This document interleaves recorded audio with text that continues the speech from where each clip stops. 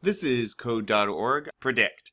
This program has one small difference that will make it run a little differently. Again, again though, remember all your code outside the draw loop is run first one time. All your code inside of it is drawn over is run over and over forever. All right.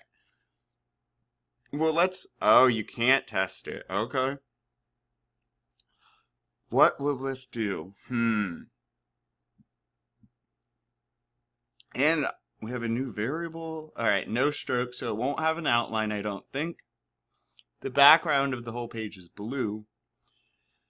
Um, and the fill color is yellow. I didn't realize capitalize those. All right, and then the function will draw red. Oh, wait a minute here. So our background's blue, and then what color is this ellipse gonna be? Well, it's gonna be, did you say red? I tricked you. Um, look, it's redrawing the background each time, meaning every single time our function runs, our loop goes, it's going to draw red over and over and over.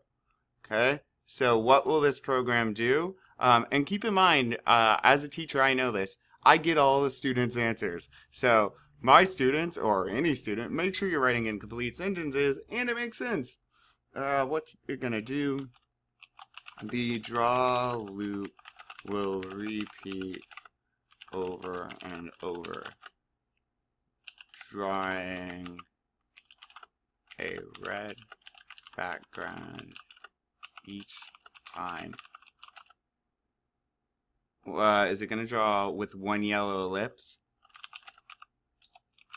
Maybe, but it's going to cover it up each time. Okay?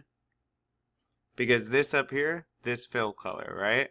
So, Let's go ahead and one random area. Yep, let's see. Yep. And if you were fancy, you might say that that moves randomly. Huh. Alright, cool. Let's keep going.